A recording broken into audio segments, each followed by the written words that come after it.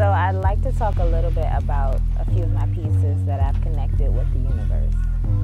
And the reason that I do that is even though we make up a very minute portion of the universe, we make up the universe. It's inside of us, it's all around us. And I try to capture that in a few of my pieces.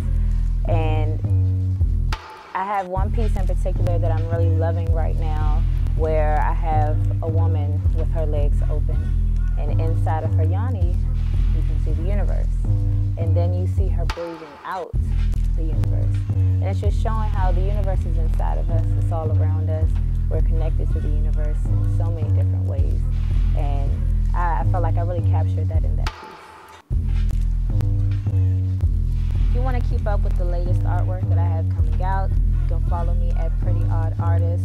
You can like, share my work, um, give your own interpretation on it.